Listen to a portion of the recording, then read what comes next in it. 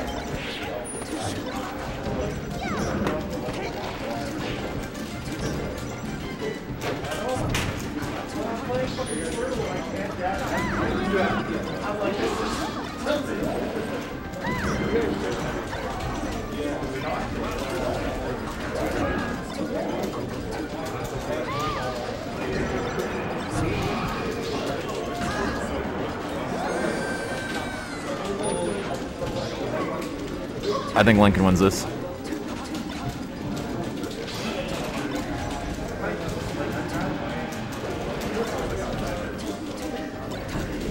I'll take a thousand one odds on Lincoln right here.